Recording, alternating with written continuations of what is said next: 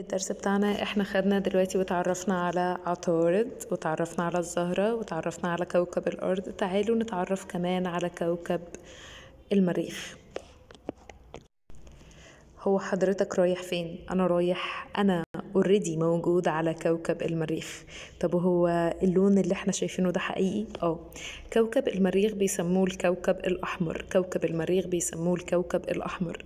طب انت ليه بيسموك الكوكب الأحمر؟ لأني التربة بتاعتي الأرض بتاعتي بتتكون من أكاسيد الحديد الحمراء بتتكون من أكاسيد الحديد الحمراء. من أكاسيد الحديد الحمراء. طب يا سيدي انت علشان تلف حوالين الشمس بتاخد مدة قد إيه؟ ستة سبعة تمانية. ستة سبعة تمانية. ستمية ستمية سبعة وتمانين يوم. ستمية سبعة وتمانين يوم. يبقى كوكب المريخ بنسميه الكوكب الأحمر. هنا بقى محتاجين نعمل كده آه، حاجة مهمة قوي لو نلاحظ إن المجموعة بتاعتنا عبارة عن تمانية أربعة أصحاب قوي وبعد كده أربعة تانيين أصحاب قوي شلة وشلة. عندنا عطارد الزهرة الأرض المريخ دولت اسمهم المجموعة الداخلية ودولت جروب مع بعض ودولت الأقرب للشمس ودولت بنلاقيهم إن هم التربة بتاعتهم صخرية شبه تكوين الأرض فبنسميهم الكواكب الأرضية. طبعا هم أقرب للشمس فبياخدوا طاقة كبيرة من الشمس فسرعتهم بتبقى أكبر أحجامهم أصغر. لكن المجموعة التانية بنلاقي إن هم أكبر في الحجم بنلاقيهم إن هم أبعد عن الشمس وبالتالي الطاقة اللي بياخدوها من الشمس أقل. لو تلاحظوا هنا إن هم في هنا خمسة. مش زي ما أنا ما قلت أربعة. لكن العلماء اجتمعوا مع بعض في 2006 وقالوا إن إحنا مش هينفع ناخد كوكب بلوتو ونحطه ضمن المجموعة الشمسية. إحنا هنطلع بلوتو من المجموعة الشمسية لأنه مش شبه الكواكب دولت في المجموعة بتاعتهم. دولت بنسميهم المجموعة الخارجية اللي هم المشتري وزحل وأورانوس ونبتون. هم الأبعد عن الشمس الطاقة بتاعتهم أقل السرعة بتاعتهم أبطأ آه، مجموعات غازية. تعالوا بقى ناخد بيفصل ما بين المجموعة الداخلية والمجموعة الخارجية حاجة اسمها حزام الكويكبات. اسمه إيه؟ حزام الكويكبات. لو جينا نبص للصورة ديت هنلاقي ادي الشمس وادي الاربع كواكب الداخليين وادي الاربع كواكب الخارجيين. اديهم اهو.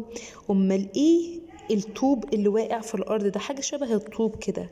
إيه اللي في النص ده؟ ده اسمه حزام الكويكبات. حزام الكويكبات. طب هو حزام الكويكبات دوت عبارة عن إيه؟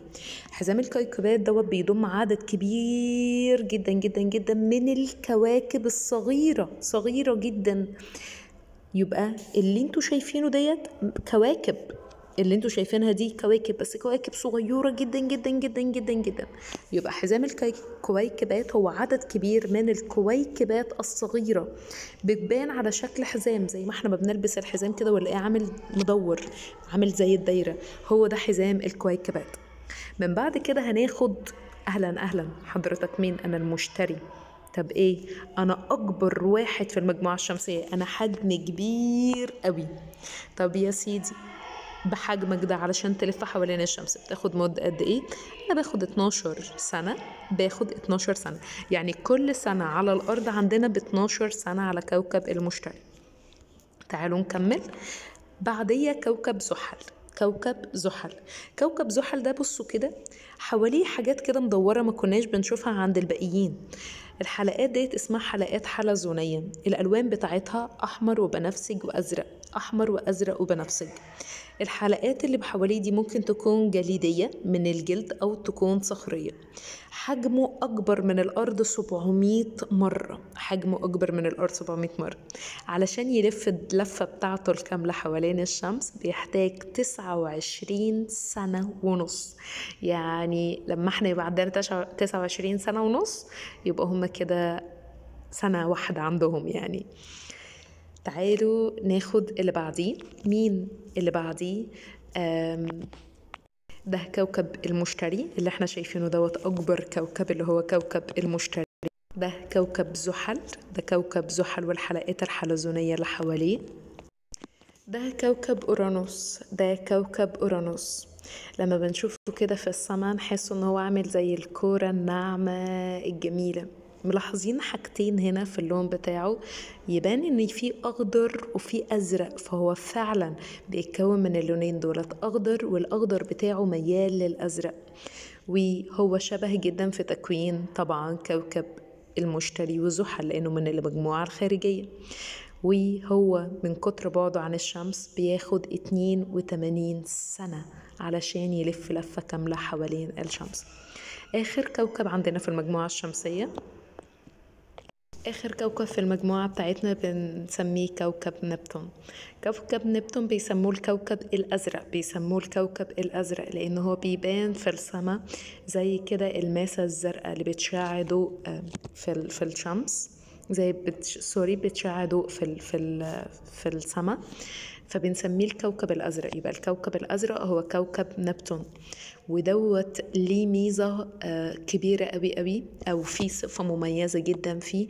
زي ما عطارد هو أقرب واحد ده أبعد واحد. وزي ما عطارد أقرب واحد فأكتر واحد بيرتفع درجة الحرارة يبقى ده أبعد واحد يبقى بيتميز بالبرودة الشديدة. ليه؟ لأنه بعيد عن الشمس بسبب بعده عن الشمس.